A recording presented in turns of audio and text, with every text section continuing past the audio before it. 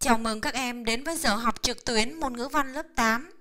Trong ngôn ngữ tiếng Việt, bên cạnh những từ ngữ toàn dân, còn có những từ ngữ chỉ dùng trong một địa phương, một vùng nhất định và một số từ ngữ chỉ có trong hoàn cảnh giao tiếp của một vài đối tượng. Hôm nay chúng ta sẽ tìm hiểu về những từ ngữ đó. Mời các em bước vào bài học. Tiết 17, từ ngữ địa phương và biệt ngữ xã hội. Một là mã, từ ngữ địa phương. Một nhỏ, ví dụ sách giáo khoa trang 56. Các em hãy quan sát những từ in đậm trong các ví dụ sau và trả lời câu hỏi. Sáng ra bờ suối, tối vào hang, cháo bẹ rau măng vẫn sẵn sàng. Hồ Chí Minh tức cảnh bác bó. Khi con tu hú gọi bầy, lúa chiêm đang chín, trái cây ngọt dần, vườn râm dậy tiếng ve ngân, bắp rây vàng hạt đầy sân nắng đào, tố hữu khi con tu hú.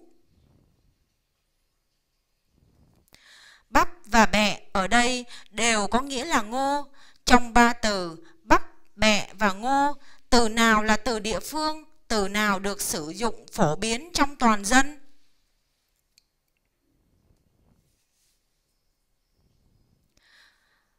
Bẹ là từ dùng ở miền Bắc, miền Trung.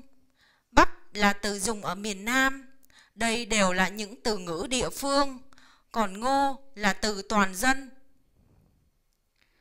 Các em hãy trả lời câu hỏi sau. Tìm những từ địa phương trong đoạn thơ sau. Cho biết những từ đó được sử dụng ở địa phương nào. Tìm những từ toàn dân tương ứng với những từ đó.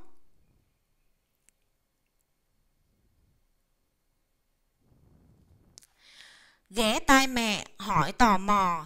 Cớ răng ông cũng ưng cho mẹ chèo? Mẹ cười, nói cứng phải siêu. Ra khơi ông còn dám, tôi chẳng liều bằng ông. Nghe ra ông cũng vui lòng. Tôi đi còn chạy ra sông dặn dò. Coi chừng sóng lớn, gió to. Màn xanh đây mụ, đắp cho kín mình. Mẹ suốt, tố hữu những từ địa phương là từ cớ răng, ưng, tôi, mụ. Những từ toàn dân tương ứng với những từ đó là à, cớ răng thì từ toàn dân là từ tại sao, ưng là đồng ý, mụ ở đây là vợ. Các từ địa phương trên được dùng chủ yếu ở vùng miền Trung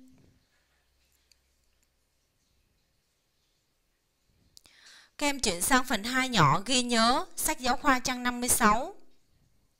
Khác với từ toàn từ ngữ toàn dân, từ ngữ địa phương là những từ chỉ sử dụng ở một hoặc một số địa phương nhất định. Chúng ta chuyển sang phần 2 la mã, biệt ngữ xã hội. Một nhỏ ví dụ sách giáo khoa trang 57.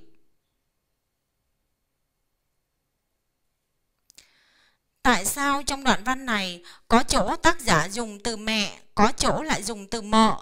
Trước cách mạng tháng 8 năm 1945, trong tầng lớp xã hội nào ở nước ta, mẹ được gọi bằng mợ, cha được gọi bằng cậu?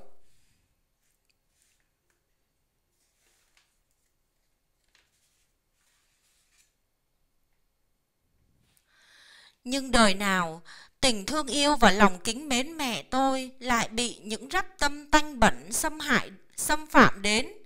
Mặc dầu non một năm ròng mẹ tôi không gửi cho tôi lấy một lá thư, nhắn người thăm tôi lấy một lời và gửi cho tôi lấy một đồng quà. Tôi cũng cười đáp lại cô tôi, không, cháu không muốn vào, cuối năm thế nào mợ cháu cũng về. Nguyên Hồng, những ngày thơ ấu.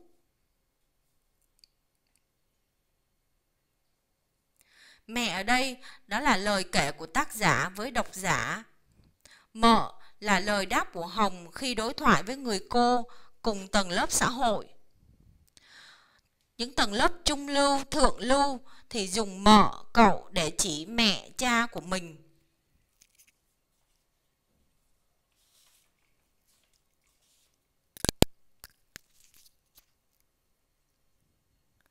Các em xem tình huống sau. Thu và Thịnh đang trao đổi về điểm bài tập làm văn của mình. Em hãy để ý những từ in đậm và giải thích ý nghĩa của nó. Theo em, ai thường sử dụng ngôn ngữ đó?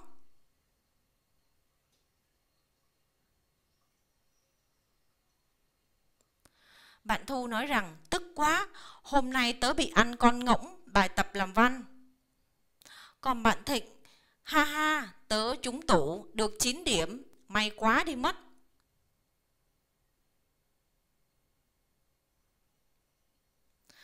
Ngỗng ở đây tức là điểm 2. Còn trúng tủ tức là đúng với cái điều mình dự kiến, mình định học. Những từ ngữ này được sử dụng trong tầng lớp học sinh, sinh viên.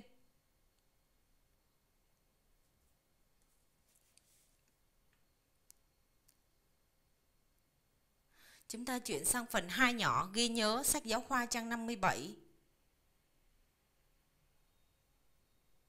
Khác với từ ngữ toàn dân, biệt ngữ xã hội chỉ dùng trong một tầng lớp xã hội nhất định.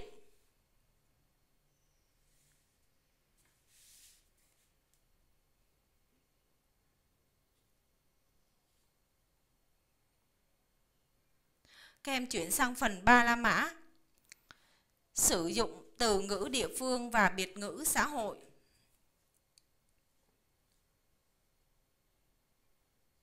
Một nhỏ, lưu ý khi sử dụng từ ngữ địa phương và biệt ngữ xã hội.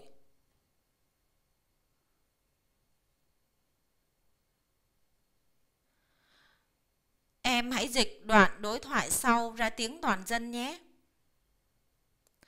Con ơi, con ra trước cươi lấy cho mạ cái chuỗi. Đi cho khéo không bổ cải trục cuối đó nghe.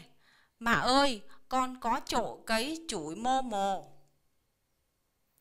Những cái từ này nghe rất lạ đúng không? Vậy chúng ta sẽ dịch ra từ toàn dân nè. Con ơi, con ra trước cươi lấy cho mạ cái chuỗi. Đi cho khéo không bổ cải trục cuối đó nghe. mà ơi con có chỗ cấy chuỗi mô mồ Thì chúng ta dịch ra là Con ơi con ra trước sân lấy cho mẹ cái chổi Đi cho khéo không ngã sưng đầu gối đó nghe Mẹ ơi con có thấy cái chổi đâu nào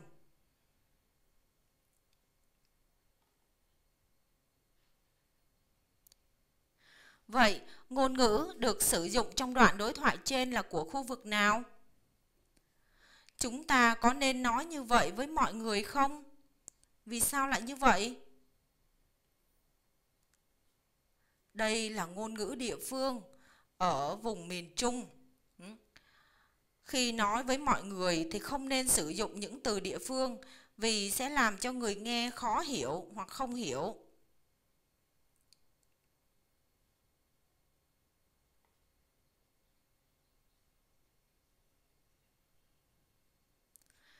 Trong những trường hợp giao tiếp sau đây, trường hợp nào nên hoặc là không nên dùng từ địa phương? Trường hợp thứ nhất, người nói chuyện với mình là người cùng địa phương. Thứ hai, người nói chuyện với mình là người ở địa phương khác. Thứ ba, khi phát biểu ý kiến ở lớp.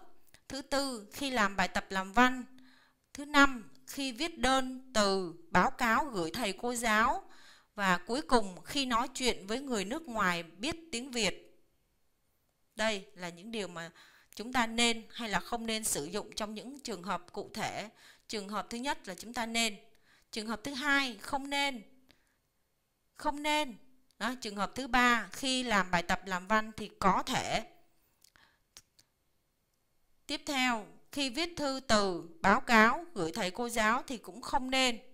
Và cuối cùng khi nói chuyện với người nước ngoài biết tiếng Việt chúng ta cũng không nên sử dụng từ địa phương.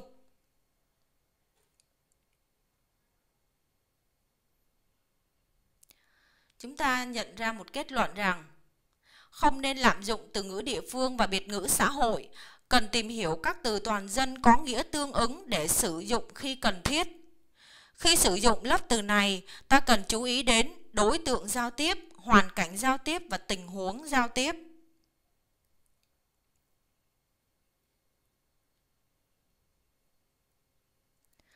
ta thử tìm xem tác dụng của từ ngữ địa phương và biệt ngữ xã hội là như thế nào. Tại sao trong các đoạn văn, đoạn thơ sau đây tác giả vẫn dùng một số từ địa phương và biệt ngữ xã hội? Đồng chí mô nhớ nữa kể chuyện Bình Trị Thiên cho bầy tôi nghe ví, bếp lửa rung rung đôi vai đồng chí, thưa trong nớ hiện trừ vô cùng gian khổ, đồng bào ta phải kháng chiến ra ri. Theo Hồng Nguyên, nhớ, cá nó để dầm thượng áo ba đờ suy, khó mỏi lắm. Nguyên Hồng bị võ.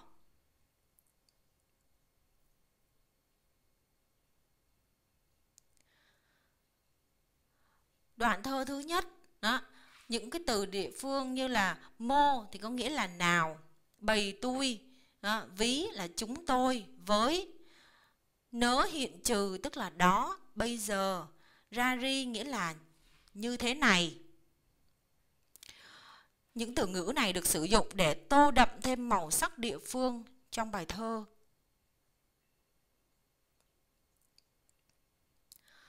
Còn câu cá nó để dầm thượng áo ba đờ suy khó mỏi lắm.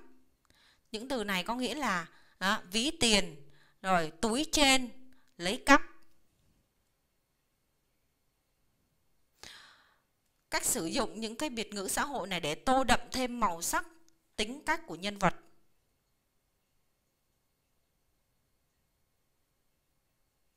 Chúng ta rút ra kết luận sau đây.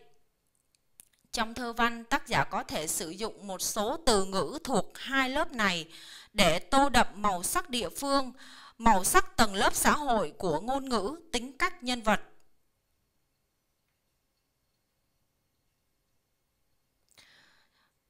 Chúng ta sẽ khái quát thành sơ đồ tư duy.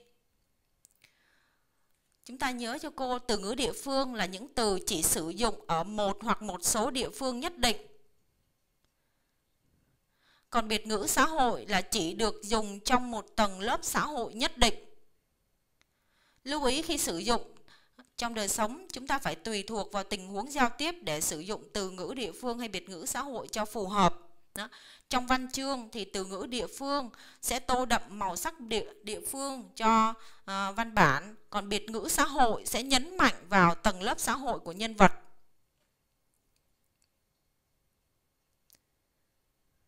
Hai nhỏ ghi nhớ sách giáo khoa trang 58. Chúng ta chuyển sang phần 4, phần luyện tập.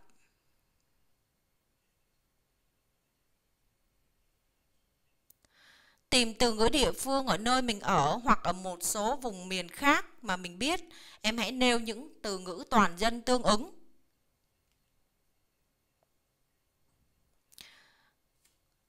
những cái cặp từ địa phương và từ toàn dân đi liền với nhau như là heo, lợn, ly, cốc, chén, bát, trà, chè, thơm, dứa, bông, hoa, mãng cầu, na, nón, mũ, con chu, con trâu.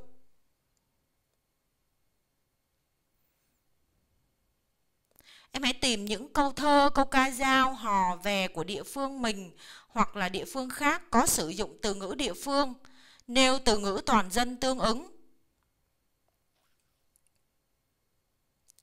Ngó lên hòn kẽm đá rừng, thương cha nhớ mẹ quá chừng bậu ơi. Từ ngó ở đây nghĩa là nhìn, quá chừng là nhiều, bậu là bạn. Ghé tai mẹ hỏi tò mò cớ răng ông cũng ông cũng ưng cho mẹ chèo? Thì cớ răng là tại sao ưng là chịu. Bầm ơi có rét không bầm heo heo gió núi lâm thâm mưa phùn. Bầm ở đây nghĩa là mẹ. Trèo lên trên rẫy khoai lang trẻ tre đan xịa cho nàng phơi khoai. Xịa ở đây là đồ đan dùng tre bằng tre nứa đó, hay là lòng nông mắt thưa nhỏ hơn cái nia dùng để phơi sấy.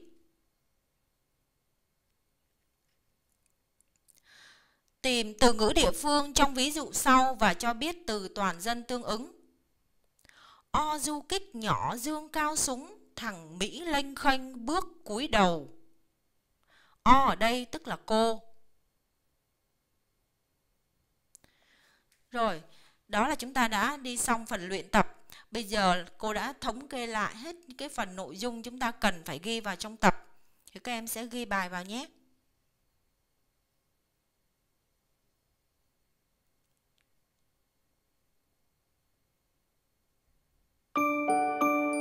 Chúc các em học tập tốt.